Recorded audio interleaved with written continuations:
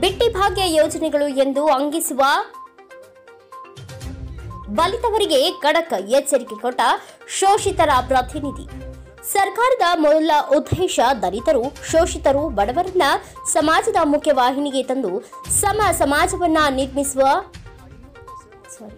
ಸಮ ಸಮಾಜವನ್ನ ನಿರ್ಮಿಸುವುದಾಗಿದೆ. ಆದ್ದರಿಂದ ನೂತನ ಕಾಂಗ್ರೆಸ್ ಸರ್ಕಾರ ಬಡವರು, ದಲಿತರು ಮತ್ತು ಮಹಿಳಾ ವರ್ಗವನ್ನ ಮುಖ್ಯವಾಹಿನಿಗೆ ತರುವ ಉದ್ದೇಶದಿಂದ ಹಲವು ಗ್ಯಾರಂಟಿ ಯೋಜನೆಗಳನ್ನ ಅನುಷ್ಠಾನ ಮಾಡುವಲ್ಲಿ ಮಹತ್ವದ ಹೆಜ್ಜೆ ಇಟ್ಟಿದೆ. ಇದನ್ನ ಕೆಲವು ಪಟ್ಟಭದ್ರರು ಮತ್ತು ಬಲಿತ ವರ್ಗದ ಕೆಲವರು ಸಾಮಾಜಿಕ ಜಾಲತಾಣಗಳಲ್ಲಿ ಬಿಟ್ಟಿ ಭಾಗ್ಯಗಳು ಎಂದು ಅಂಗಿಸುವ ಮೂಲಕ ಬಡವರನ್ನು, ದಲಿತರನ್ನ, ಶೋಷಿತರನ್ನ, ಮಹಿಳೆಯರನ್ನ ಕೀಳಾಗಿ ಕಾಣಲಾಗುತ್ತದೆ.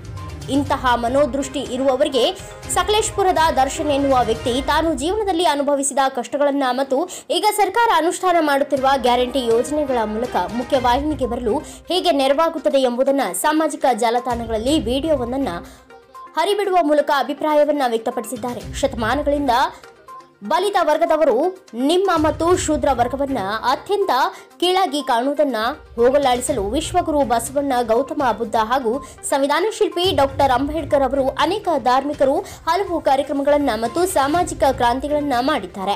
ಡಾಕ್ಟರ್ ಅಂಬೇಡ್ಕರ್ ಅವರು ಭಾರತ ಸಂವಿಧಾನ ರಚನೆಯ ಸಂದರ್ಭದಲ್ಲಿ ಧ್ವನಿ ಇಲ್ಲದವರಿಗೆ ಧ್ವನಿಯಾಗುವಂತಹ ನಿಯಮಗಳನ್ನು ಸಂವಿಧಾನದಲ್ಲಿ ಅಳವಡಿಸಿದ್ರು. ಸಂವಿಧಾನವನ್ನ ಅನುಷ್ಠಾನ ಮಾಡುವ ಜನರು ತಮ್ಮ ಇಚ್ಛೆಯನ್ನ ಬದಿಗೊತ್ತಿ ಸಮ ಸಮಾಜದ ಕನಸನ್ನ ಕಂಡು ಸಂವಿಧಾನವನ್ನ ಯಥಾವತ್ತ ಜಾರಿ ಮಾಡುವ ಮೂಲಕ ಕಲ್ಯಾಣ ರಾಜ್ಯ ಸ್ಥಾಪನೆ ಸಾಧ್ಯ ಎಂದು ಹೇಳಿದರು. ಇದೀಗ ಕಾಂಗ್ರೆಸ್ ನೂತನ ಸರ್ಕಾರ ಅನೇಕ ಗ್ಯಾರಂಟಿ ಯೋಜನೆಗಳ ಮೂಲಕ ಶೋಷಿತ ವರ್ಗವನ್ನ ಮುಖ್ಯವಾಹಿನಿಗೆ ತರಲು ಕಾರ್ಯಕ್ರಮಗಳನ್ನ ಮಾಡುತ್ತಿದೆ. ಇದನ್ನ ಕೆಲವರು ಸಾಮಾಜಿಕ ಜಾಲತಾಣಗಳಲ್ಲಿ ವ್ಯಂಗ್ಯ ಮಾಡುತ್ತಿದ್ದು, ಇವರಿಗೆ ದರ್ಶನ್ ಸಕಲೇಶ್ಪುರ ಸಮರ್ಥವಾಗಿ ಉತ್ತರ ನೀಡಿದ್ದಾರೆ. ಈ ಗಲಾಟೆಗಳು ಪ್ರವೀಣ್ ನೆಟ್ಟಾರ್, ಹರ್ಷನ್ ಗಲಾಟೆಗಳಲ್ಲಾದಾಗ ಶಿವಮೊಗ್ಗದಲ್ಲಿ ಇವತ್ತು ಸಮೇತ.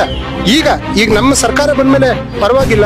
ಒಂಬತ್ತು ಗಂಟೆಗೆಲ್ಲ ಕರ್ಫ್ಯೂ ಮಾಡಿ ಲಾಕ್ ಮಾಡ್ತಾ ಇದ್ರಲ್ಲಿ ಯಾವ ಇನ್ವೆಸ್ಟರ್ಸ್ ಬರ್ತಾರೆ? ನಿಮ್ಗೆ ಹೆಂಗ್ ಉದ್ಯೋಗ ಸಿಗ್ತದೆ? ನೀವು ಎರಡು ರೂಪಾಯಿ ಮೆಸೇಜ್ ಅನ್ನ ಬದುಕೋದಕ್ಕೆ ಹೋಗ್ತೀರಾ? ಜೀವನ ಸುಧಾರಿಸೋದಕ್ಕಾಗುತ್ತಾ? ಸೊ ಈ ಯೋಜನೆಗಳು ನಿಜಕ್ಕೂ ಜನಪರ, ಜನರಿಗೆ ಜನಗಳಿಗೆ ಇದು ಅವಶ್ಯಕತೆ ಇದೆ. ಅಯೋಗ್ಯರು ಈ ಯೋಜನೆಗಳನ್ನ ಪಡೆಯುವಂತ ಅವಶ್ಯಕತೆ ಇಲ್ಲ. ಮುಟ್ಟಾಳರು, ಮೂರ್ಖರು, ಅಂಧಭಕ್ತರು ಅಥವಾ ಇನ್ನೆಲ್ಲ ಯಾರ್ಯಾರು ಪ್ರಚಾರ ಪಡಿಸ್ತಾ ಇದ್ದಾರೆ, ನಿಮಗೆ ಈ ಯೋಜನೆ ಬೇಡಲಿಲ್ಲ ಅಂದ್ರೆ ದಯವಿಟ್ಟು ಕೈ ಮುಗಿದು ಹೇಳ್ತೀನಿ.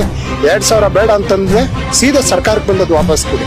ಬಸ್ಸಲ್ಲಿ ನೀವು ದುಡ್ಡು ಕೊಟ್ಟೇ ಹೋಗ್ತೀವಿ ಅಂತಂದ್ರೆ ದಯವಿಟ್ಟು ದುಡ್ಡು ಕೊಟ್ಟು ಹೋಗಿ. ಹತ್ತು ಕೆ ಜಿ ಅಕ್ಕಿ ಬರಲಿ ಬೇಡ ಅಂತಂದ್ರೆ ಒಂದ ಪಕ್ಕದವ್ರಿಗೆ ದಾನ ಮಾಡಿ ಇಲ್ಲ ಅಂತಂದ್ರೆ ಅದನ್ನ ವಾಪಸ್ ಕೊಡಿ. ಅದೆಲ್ಲೂ ಹೋಗಲ್ಲ. ಆ ಹಣ ನಮ್ಮ ಸರ್ಕಾರಕ್ಕೆ ಬರುತ್ತೆ. ಅದರಿಂದ ಇನ್ನು ಹತ್ತಾರು ಜನರಿಗೆ ಯೋಜನೆಗಳನ್ನ ಕೊಡ್ಬೋದು ಅಂತ ನಾ ಹೇಳ್ತೀನಿ. ದರ್ಶನ್. ಇಲ್ಲ ಬೆಂಗಳೂರು. ಸದ್ಯಕ್ಕೆ ಹುಟ್ಟಿದೂರು ಸಕಲೇಶ್ಪುರ. ಈ ಕರ್ಮಭೂಮಿ ಸದ್ಯಕ್ಕೆ ಬೆಂಗಳೂರು ಮತ್ತೆ ಇದ್ದಿದ್ದು ತುಮಕೂರಲ್ಲಿ. Thank you sir